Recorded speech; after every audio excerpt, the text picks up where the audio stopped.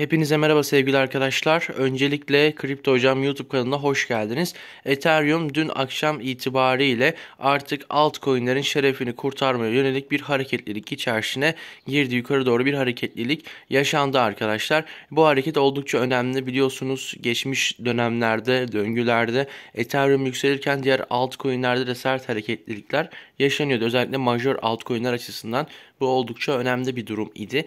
Dün yükselişiyle beraber birçok altcoin'i yukarı doğru taşıdı.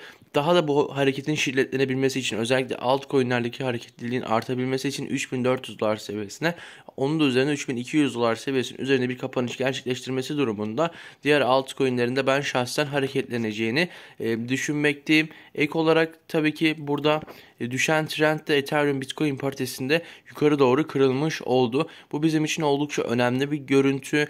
Daha önce de konuşuyorduk. Bizim için altcoin e, boğası için, mega boğası için ya özellikle major altcoin'ler için Ethereum Bitcoin paritesinde bir yukarı doğru bir hareketlilik şart. Bu olmadan olmaz arkadaşlar. Bunu kesinlikle e, unutmayın. Videoyu beğenip yorum atmasını da ihmal etmeyin. Bu adamı tamamlayan herkese de şimdiden teşekkür ederim. Biz bunu neden bu şekilde söylüyoruz? Şimdi birçok insan belki boğa kavramından, mega boğadan işte ne diyorsun vesaire diyebilir. Ama aslında boğa daha yaşanmadı. Bakın boğanın yaşanabilmesi için ne gerekiyor arkadaşlar? BTC dominansının düşmesi gerekiyor. Biz e, altcoin'lerdeki yükselişi nasıl gördük biliyor musunuz? Bitcoin, e, BTC dominansı yükseliş trendindeki yapmış olduğu ufak tefek geri çekilmelerde biz altcoin'lerin yükseldiğini gördük. Burada bir ayı sezonuna girme durumu söz konusu e, olmadı. Bakın geçmiş 2017 alt sezonuna bakın. Çok sert bir geri çekilme oluyor. 2021'e bakın çok daha sert. Yani şu var aslında. Yani gittikçe yıllar geçtikçe altcoin boğa sezonları bir tık daha e, yani X anlamına düşüyor. Ancak 2021'deki performansın e, çok çok azını e, gördük. Yani çünkü alt dominans ayı sezonuna girmedi. Yani bunlar oldukça önemli. O yüzden burada Ethereum'un yükseliyor olması, Bitcoin paritesinde düşen trendin yukarı doğru kırpmış olması e, oldukça önemli. Bu hareketin devamını gelirse altcoin'lerin de Bitcoin paritelerinde hareketliliğin yukarı doğru devam etme ihtimalini e, masada olduğunu belirtebiliriz arkadaşlar. Bir diğer açıdan baktığımızda e, bu yükseliş dönemlerinde mutlaka silkelemeler, geri silkelemeler yaşanıyor. En çok korkulması gereken e, durum şu.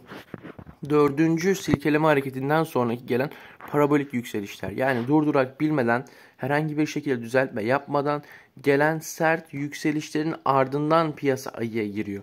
Daha bunu dahi görmedik. Bakın e, üst taraftaki formasyon ile buradaki formasyonları kıyasladığımız işte ilk birinci adım, ikinci adım, üçüncü adım, dördüncü adım.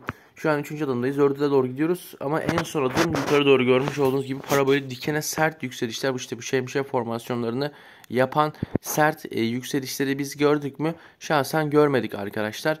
E, bu hareketi de görmememizden kaynaklı olarak yani halen daha piyasanın yolunun olduğunu düşünüyorum. Tabii ki şu değil yani kısa vadede işte Mayıs ayına dikkat edilmesi gerektiğini ne yaptık belirttik. Mayıslara dikkat dedik. Temkinli olalım vesaire. E, bu oldukça önemli ama uzun vadede yükseliş beklemek ayrı kısa vadedeki belirsizliği anlat, anlatıyorum aynı zamanda. Hem uzun vadede yükseliş bekliyorum hem de kısa vadedeki belirsizliği de sizlerle beraber aktarmak istiyorum arkadaşlar. Bazı arkadaşlar değişik yorumlar yapabiliyor. İşte bir yükseliş bekliyorsun, bir düşüş bekliyorsun şeklinde yorum. Onlar büyük ihtimal video tam izlemiyorlar. Ya başlığa bakıyorlar ya ufak tefek kısmını izliyorlar. Ondan sonra yorum yapıyorlar. Yani bizi de böyle 3 günlük kanallar gibi falan zannediyorlar. Her neyse e, biz kendi düşüncelerimizi burada belirtiyoruz. Belirtmeye devam edeceğiz arkadaşlar. Bir diğer anlamda baktığımızda işte Total 2'ye baktığımızda Total 2'nin Total 2'nin de gidecek daha yol olduğunu görmekteyiz. Özellikle 2.8-3 trilyon dolarları e, görebilir. Bu ihtimal var. E, yukarıdaki e, trende de, değmiş durumda. Buralar geliyor zaten. Yani burada da uzun vade açısından e, bir sıkıntı yok. Yani ne oldu arkadaşlar? Piyasadaki hacim azaldığı için işte e, ciddi anlamda bir bunaltı içerisine e, piyasayı soktular. Ancak halen de e, geç kalınmış e, bir e, görüntünün olduğunu e, düşünmüyorum. Ethereum'da dediğim gibi 3000 400 3400 seviyeler oldukça önemli olacak arkadaşlar. E, yani buraları biz dikkatli bir şekilde takip etmemiz e, gerekecek. Bitcoin'e bakalım. Şimdi ilk olarak uluslararası dominansına bakalım arkadaşlar. Bakın bu da yavaş yavaş geri çekilmeye başladı. Bunu destek bölgesi 4.70. Bu 4.70 seviyesini aşağı doğru kırabilirse, e, bunu başarabilirse arkadaşlar daha da e, geri çekilebilir. Bu da piyasa için e, yükseliş anlamına, sinyali anlamına geliyor ama 4.70'e dikkat etmemiz lazım. Oraya yakın takip içerisine e, alalım destek anlamı olarak sizlere bunu belirtmek istiyorum. Dolar endeksine bakalım. Dolar endeksi e, ciddi bir e, hammer mumu aldı ve güzel bir kapanış gerçekleştirdi. E, bu tarafta da yani 107'nin üzerine çıkarsa eğer biraz daha riskli varlıklara dikkat edilmesi gerekiyor. Ama onun da piyasa açıldığı zaman tekrar bakarız. Bitcoin'e dönelim. Bitcoin'de yani şuradaki bir dobili formasyonunu çalıştırmak isterse bir an önce arkadaşlar bir an önce e, 64.200 hatta 66 seviyelerin üzerine atması gerekiyor.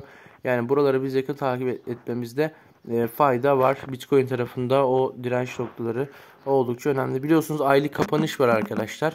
Yani aylık kapanış öncesinde 2 gün kaldı aylık kapanışa. Yani hareketler biraz da hızlanabilir. Bitcoin dominansı bu arada bakın çalıştı, çakıldı. Sebebi ne? Ethereum'un yükselmesi işte bu yüzden de önemli. Ethereum'un önder olması, altcoin'lerin önderi olması, bir hareketleri, sert hareketlikler gerçekleştirmesi, gerçekleştirmeye çalışması bu anlamda da önemli. Bitcoin dominansının belini kıran en büyük etken ne oldu? Ethereum'un ani şekilde yukarı şekilde patlaması oldu arkadaşlar. E, bu yüzden de oldukça önemli e, tarihi olaylar içerisinde e, yaşadık, gördük hep birlikte arkadaşlar. Şimdi e, videoyu izlediğiniz teşekkür ederim. Bir sonraki videomuzda kısa bir analiz oldu. Olsun pazar analizi bu şekilde olsun. Videoyu beğenelim, yorum atalım arkadaşlar. Videomu izlediğiniz için teşekkür ederim hepinize. Kanala abone olursanız da mutlu olurum. Bir sonraki videomuzda bir sonraki analizimizde görüşmek üzere. Hoşçakalın. Kendinize çok ama çok iyi bakın.